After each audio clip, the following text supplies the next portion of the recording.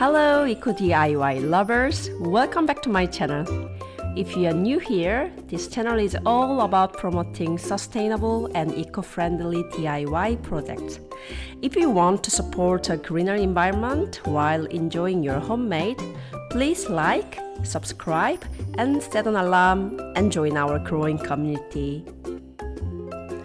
Every Wednesday is my Mama Day. I enjoy a day of work and take some time to play with my kids.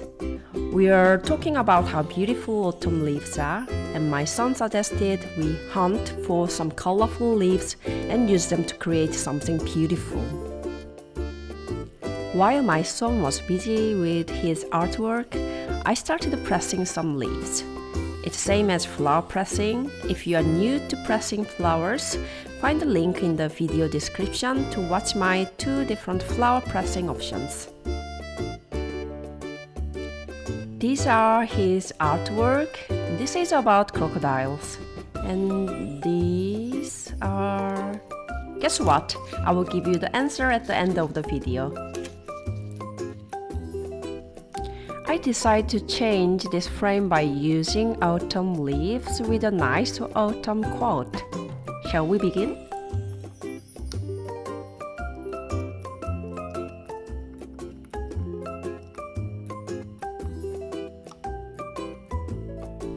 First, I googled autumn quote and choose one that I liked.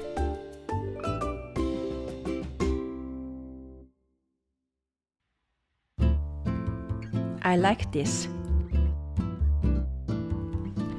I will write down the quote myself.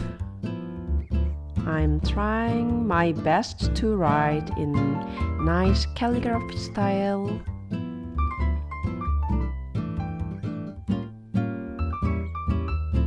Hmm. If you have bad handwriting, don't worry. We have technology to save us. Print a quote in a font you like. Cut the paper around the quote. In order to give it a bit of vintage feeling, crumble the paper. And here is another tip to make it a bit more personal. Burn it. Just a small bit of the outside. Let's design how to set the leaves and the quote.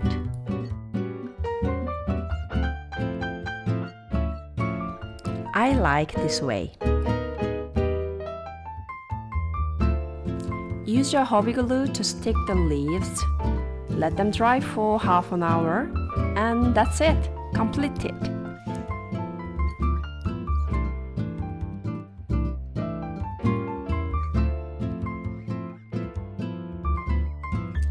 I found it's nice to put the frame next to a lamp or candle also nice to put in front of a window. Oh yeah, the answer to my question before?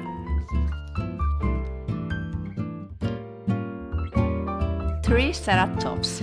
Nice, huh? Let me know which answer you are thinking of in the comments below. Tune in next time for more eco-friendly and healthy DIY ideas. 고맙습니다.